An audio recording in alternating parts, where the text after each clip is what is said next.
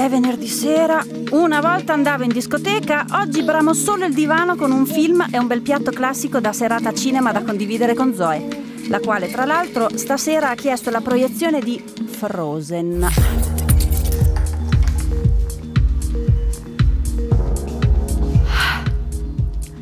Zoe è in camera da letto che gioca con i suoi pupazzetti amati, io devo pensare alla cena però. Fatemi accendere subito il forno perché questa sera ho trovato un pesce di lago e un salmerino in questo caso con un contorno di patate e carote. È una sorta di mio fish and chips con quello che c'è in casa quindi pelo le patate che sono state precedentemente ben lavate e mantengo le bucce per altre ricette. Quindi classica patata passo le carote.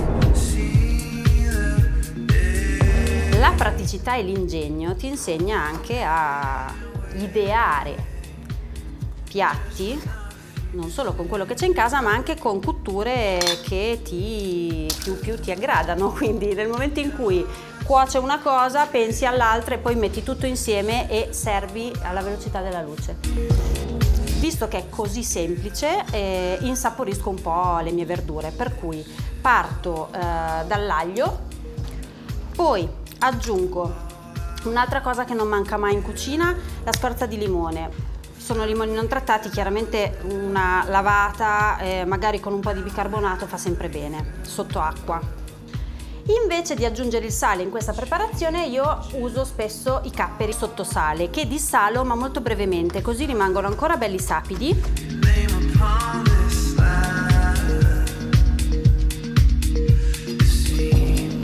Altro must della mia cucina erbe aromatiche.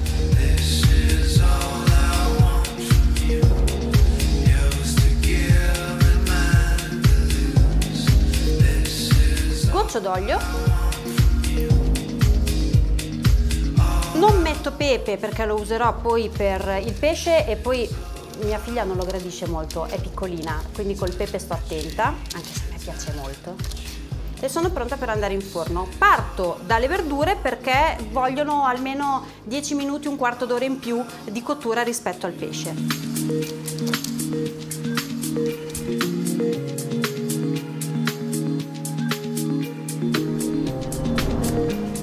Le verdure cuociono penso al pesce. In questo caso vi ho detto ho preso del eh, salmerino. Eh, lo voglio fare marinato allo yogurt per cui yogurt bianco L'aglio non manca mai anche perché con lo yogurt sta benissimo, si può lasciare a dadini così poi in un secondo momento si può togliere. Io invece lo vado a rendere a crema. Proseguo con un po' di verde per cui se c'è dell'aneto benissimo, io non l'avevo in casa, ho del prezzemolo.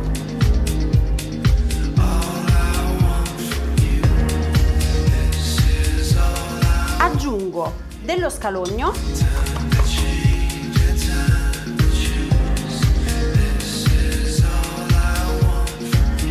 Aggiungo poco poco pepe, mescoliamo, salo ed è arrivato il momento di mettere il pesce nella marinatura. Io, come dicevo, ho del salmerino. Um, l'ho già fatto tagliare a trancetti, quindi sfilettato e tagliato a trancetti. In base alla polpa e alla consistenza della carne e del pesce che si usa, si può tagliare o meno a cubetti. Quindi se si usa un um, salmone o un merluzzo, si può tagliare a cubetti un po' grossi. Ecco, salmone e merluzzo magari anche no o meglio, lasciamo stare quei pesci che non sono nostri, quindi che non sono dei nostri laghi e non sono dei mari che abbiamo più vicini. Quindi se non vogliamo pesce di lago che comunque è local e anche lui ha una stagionalità comunque, scegliamo il pesce sempre secondo di stagione di mare del vicino Adriatico o Mediterraneo. Mettiamo a marinare il pesce Adesso lo copro e lo lascio riposare in frigo giusto il tempo di continuare con la ricetta. Se volete lasciarlo di più, ben venga.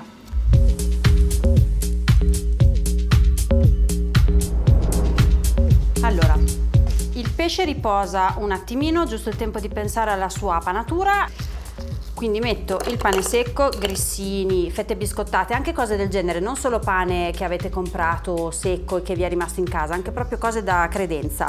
Un po' di paprika, aggiungo un po' di farina di polenta,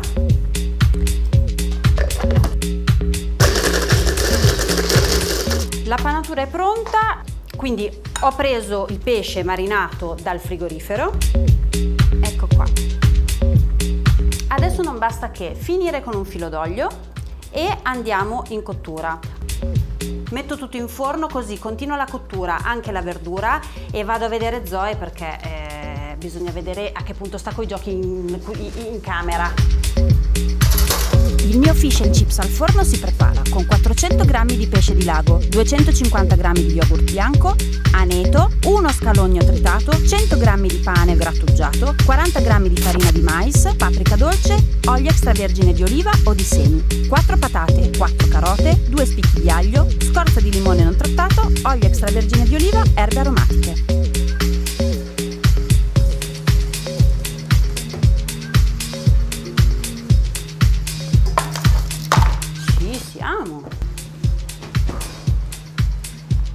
Finisco con un po' di sale. Ah, dimenticavo. Se una volta tagliate le patate si mettono un pochino nell'acqua, queste perdono l'amido e in cottura mm sono molto più croccanti. Mm. Tutte croccanti. No.